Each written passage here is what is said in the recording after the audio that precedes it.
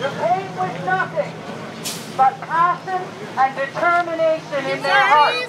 And this is the ground we stand on today. This is the foundation of Canada.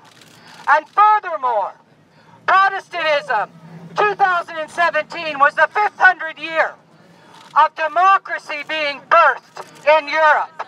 That is our history.